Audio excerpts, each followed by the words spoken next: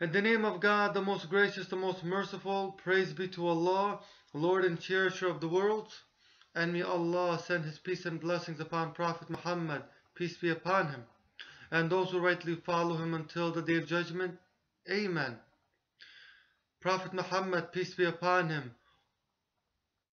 a man came up to him, a pagan, and this pagan grabbed him by the neck.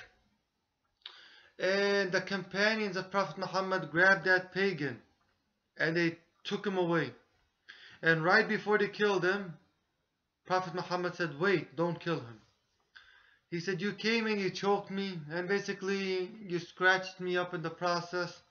He was probably bleeding from the neck. Muhammad said, Is there a reason why you did this? So he didn't want to hear the guy's story. He didn't say kill him. I don't want to hear a story. The hell with him. Damn with him and everyone else who's a non-believer. Kill them all. Wipe them all. Muhammad didn't do that. He said, I want to hear his side of the story. Why did you grab me by the neck and choke me?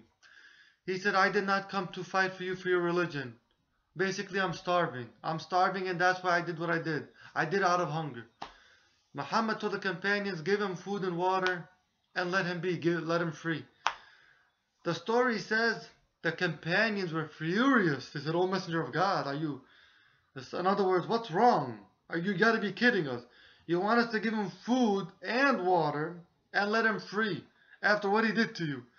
Muhammad said, as long as he did not, as long as he did not come to fight me for my religion, I have nothing to do with him. In other words, okay, he choked me, but I'm not dying. He didn't injure me badly. In other words, I'm not uh, he didn't cut me up in pieces where I'm dying. Okay, so he choked me. Maybe he scarred me a little bit in the process. Maybe a little bit of blood. But it's nothing major. So as long as he did not come to fight me for my religion, let him go. Give him food and water. The guy left and he came back and he converted to Islam. Muhammad said, why didn't you convert to Islam on the spot if that's the case? He said, had I converted to Islam on the spot, it would have been said I did out of fear. So the fact that you let me free, I came back willingly to convert to Islam to show you that I didn't convert out of fear. I had a chance to get away as you let me free. So I came back willingly to convert to Islam. And you're calling Muhammad uh, a warmonger? And you're calling Muhammad a terrible man? I beg to differ. May Allah send His peace and blessings upon Prophet Muhammad, peace be upon him, and those who rightly follow him until the day of judgment. Amen.